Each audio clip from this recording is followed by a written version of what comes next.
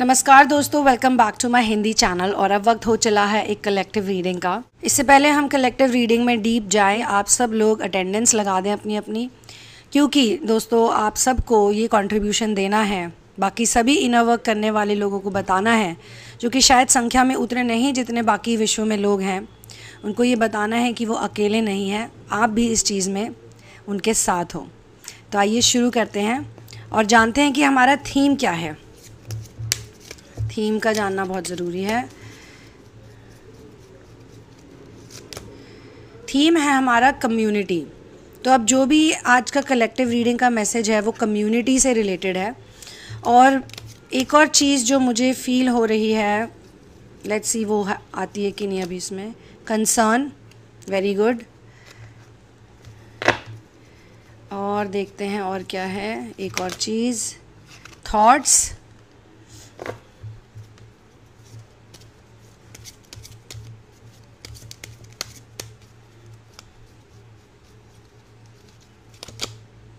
false person very nice तो अब कुछ कुछ बात क्लियर हो चुकी है। तो दोस्तों, इनर वर्क की जर्नी में इंसान बहुत सारे लेसन सीखता है और लेसन्स इतने इंपॉर्टेंट है इस जर्नी में, जैसे कि सांस बिना ऑक्सीजन के हो ही नहीं सकती है राइट उतने ही इंपॉर्टेंट लेसन्स हैं इनर वर्क की जर्नी में। तो सबसे पहला कार्ड जो आया वो कम्युनिटी का आया तो ये लेसन जो है वो ज़रूर आपकी कम्युनिटी से, यानी कि सोसाइटी से आसपास की दुनिया से आपने सीखा है और आप इसे सीख रहे हैं या फिर सीख चुके हैं, दोनों में से कोई एक पॉसिबिलिटी है। लेकिन दोस्तों, अगर आप यहाँ पर हो तो ये कोई को नहीं है, क्योंकि हमारी ही इंट्यूशन की वजह से हमें इस तरह की इन्फॉर्मेशन और इस तरह की चैनलिंग्स और इस तरह का कंटेंट मिलता है। जैसी हमारी इंट्यूशन होती है, उसी तरीके की चीज़ों को हम अट्रैक्ट करते हैं। तो अगर आप इस मैसेज को अट्रैक्ट कर रहे हो तो ये वाया आपकी इंट्यूशन के लेवल से ही आपको अट्रैक्ट हुई है। इससे पहले पास्ट में भी आपने काफ़ी चीज़ों को, काफ़ी कंटेंट को अट्रैक्ट किया होगा। और अब आपको लगता होगा कि यार वो कंटेंट तो मेरे किसी काम का नहीं था।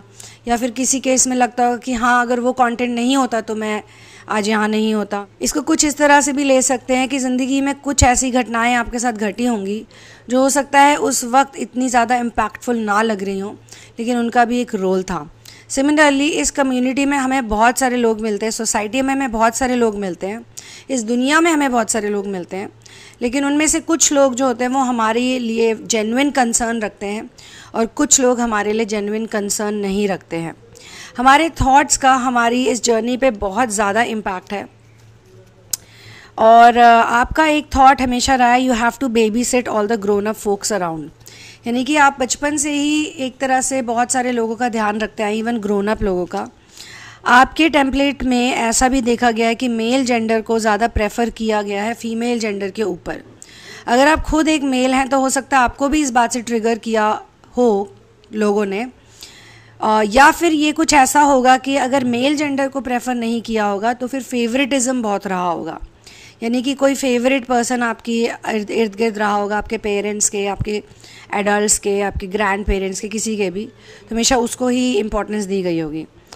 आपके आसपास बहुत सारे एनेबल्ड नार्सिसिस्ट भी हैं। This person is an enabled narcissist ठीक है?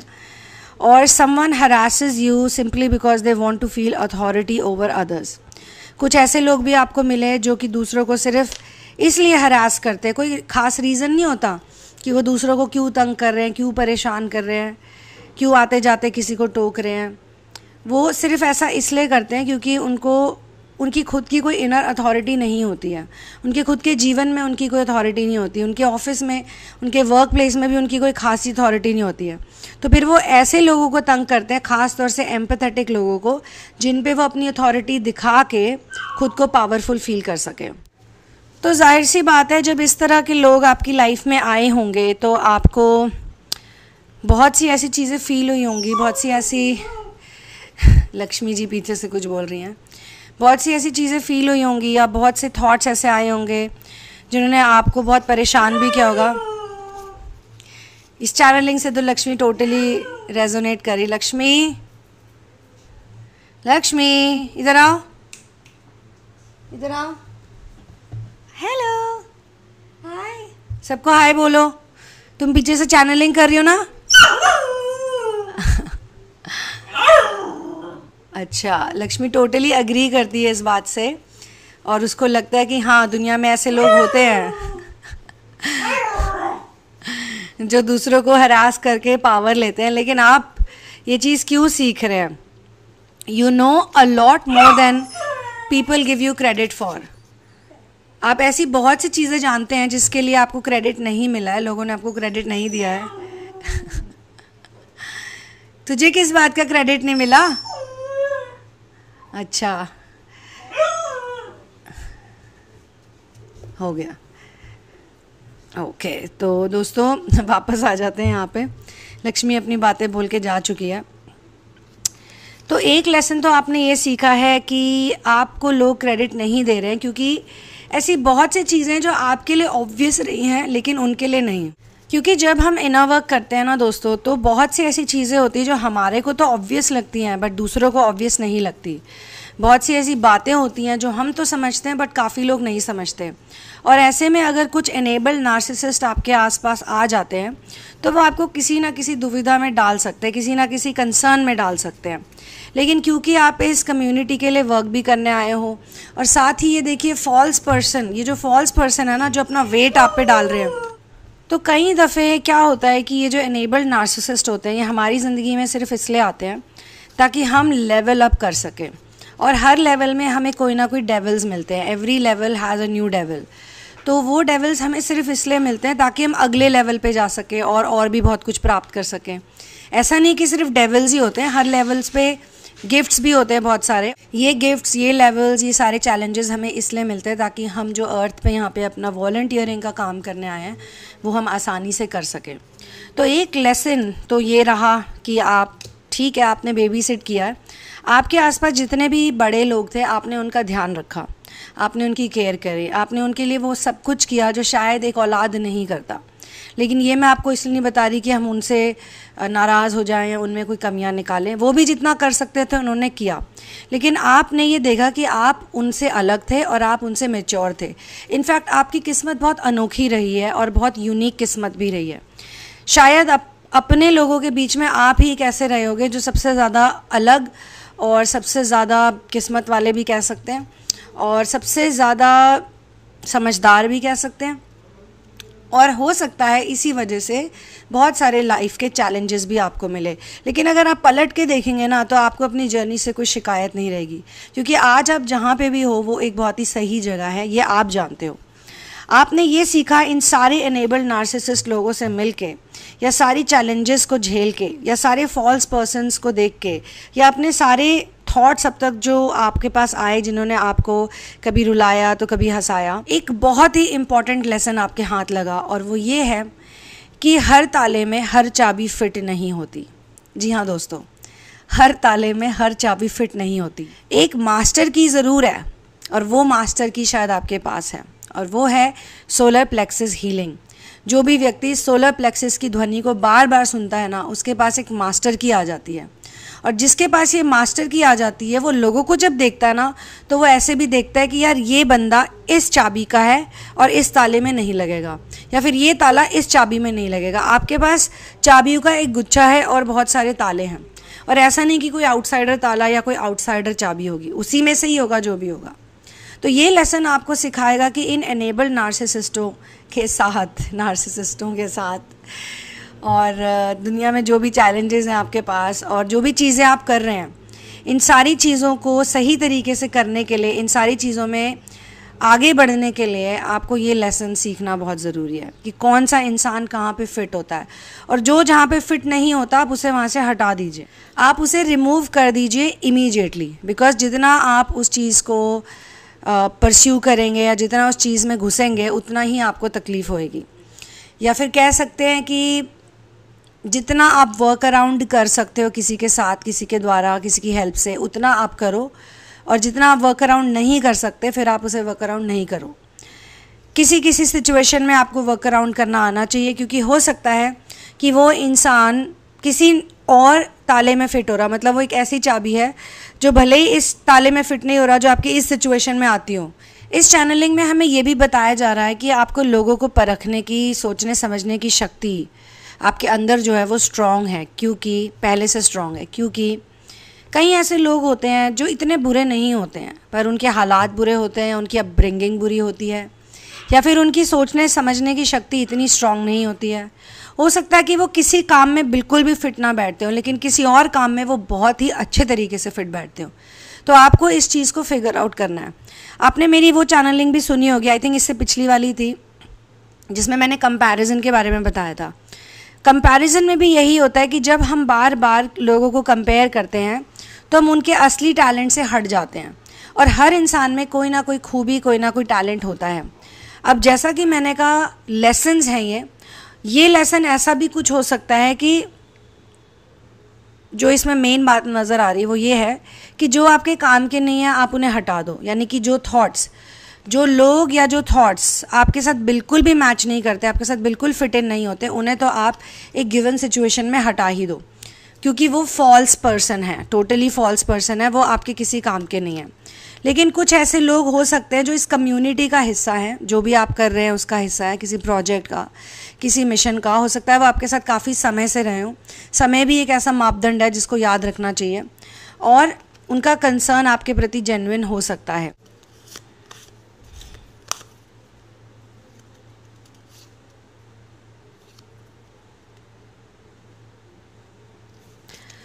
क्योंकि कुछ लोग ऐसे होते हैं these people act like they don't see you मतलब कुछ ऐसे लोग हैं जो ऐसे बिहेव करते कि उनको ना आप दिखाई देते हो, ना आपका सच दिखाई देता है, ना आपका लाइफस्टाइल दिखाई देता है, ना आपका एम्पथेटिक नेचर दिखाई देता है। और ऐसा इसलिए क्योंकि कोई ऐसी सच्चाई है जो आप उनके सामने लेकर जा रहे हो, लेकिन वो उसे देखना नहीं चाहते। तो वो आपको भी अनदेखा करते हैं और वो सत्य जो आप उनके आगे लेकर जा रहे हो, उसे भी अनदेखा करते हैं। तो फिर इस तरह के लोगों का आप कुछ नहीं कर सकते because you can not help those people who don't want to help them भगवान भी उसी की मदद करते हैं जो खुद की मदद करना चाहते हैं। तो सिमिलरली आप जो कि इसी पाथ पे चल रहे हो, आप हर किसी की हेल्प कैसे कर सकते हो?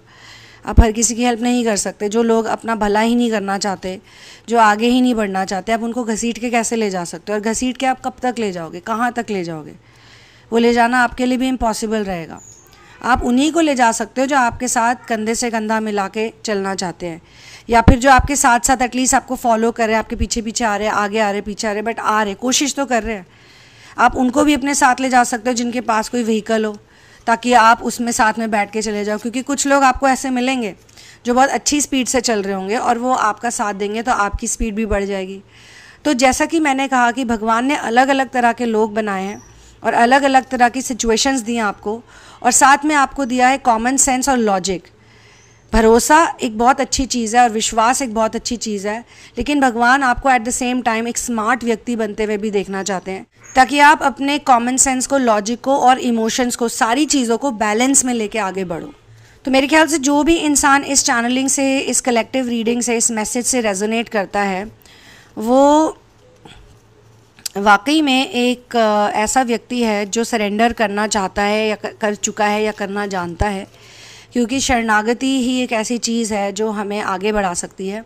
और दूसरा, ये इन्फॉर्मेशन आपके पास होनी ज़रूरी है कि आपका सोलर प्लेक्सेज यानी कि आपकी एनर्जीज़ अगर अलाइन नहीं होंगी, अगर आप आउट ऑफ़ अलाइनमेंट होगे तो फिर आप आगे कैसे बढ़ोगे? और अपने सोलर प्लेक्सिस को अगर आप स्ट्रॉन्ग रखोगे, यानी कि राम ध्वनि को अगर आप बार बार सुनोगे, जो कि साइंटिफिकली प्रूवन है सोलर प्लेक्सिस का साउंड है, मणिपुर चक्र का साउंड है तो ऑटोमेटिकली आपके सारे चक्रास अलाइनमेंट में आ जाएँगे। और जैसे ही सारे चक्रास अलाइनमेंट में आ जाएँगे तो धीरे धीरे आपकी नाड़ियाँ खुल जाएँगी धीरे धीरे आपके सारे काम होने लग जाएँगे, आप अपने एवेटार सेल्फ में आ जाओगे। और मुझे अब बड़ी हैरानी होती है क्योंकि ये ये वाली बात स्पेशली सोलर प्लेक्सिस अलाइनमेंट वाली बात, मेरे चैनल के अलावा किसी ने आज तक मैंने कहीं नहीं सुनी थी। कोई नहीं कह रहा था यूट्यूब पे, लेकिन अभी ये यूट्यूब की सर्च हिस्ट्री पे काफ़ी ऊपर दिखाया जा रहा है। यानी कि ये बात फैल रही है। और ये बात पता है क्यों फैल रही है? ये बात इसलिए फैल रही क्योंकि कई लोगों ने इसको आजमा के देखा होगा, ट्राई किया होगा, और उनको इससे कोई फ़ायदा या कोई सुकून मिला होगा। तो इसीलिए अब वो इसे स्ट्रेंथन करना चाहते हैं। तो ये बहुत ही ग्रेट यूनिक इन्फॉर्मेशन है जो मैं आपको दे रही हूँ। और इसी ग्रेट बात पे मैं इस पर्टिकुलर सेशन को क्लोज़ करती हूँ। पर्सनल सेशंस और थेरेपीज़ के लिए ये मेरा ईमेल एड्रेस है। और नीचे डिस्क्रिप्शन बॉक्स में सारी थेरेपीज़ की डिटेल्स दी गई हैं। साथ ही मेरी book in the name of love a journey of finding her ultimate soulmate की किंडल कॉपी का लिंक दिया गया है। दोस्तों किंडल कॉपी ही ख़रीदना और जो पुरानी पेपर बैक कॉपी है वो मत ख़रीदना, वो सबसे ओल्डेस्ट वर्जन है। उसके बाद मैंने अपनी ही बुक को एडिट करके दोबारा से किंडल पे डाला था। और मैं नहीं चाहती हूँ कि पेपर वेस्ट किया जाए, फालतू में पेड़ काटे जाए पेपर के चक्कर में। इसीलिए किंडल को ही मैं अपना platform as a platform use करती हूँ और आगे भी जितनी बुक्स आएँगी, वो सब किंडल पे ही आनी चाहिए होपफुली अगर हमने पेपर बैक करी भी तो मेरे ख्याल से वो सिर्फ़ ऑन डिमांड पे ही की जाएँगी कि जो मांगेगा सिर्फ़ उसको दी जाएगी। और उन्हीं को दी जाएगी जो जेनुइनली रीडिंग करना चाहते हैं और पढ़ना चाहते हैं। इसीलिए मैं चाहती हूँ कि आपको लेटेस्ट एडिटेड वर्जन मिले। ऑल राइट आप चाहे तो मेरे कॉन्टेंट को सपोर्ट भी कर सकते हैं। सुपर थैंक्स बटन को प्रेस करके आप अपना कॉन्ट्रीब्यूशन दे सकते हैं। Thank you so much for being a part of the inner world inner work world I will see you soon in another one one love peace out and Jai Shri Ram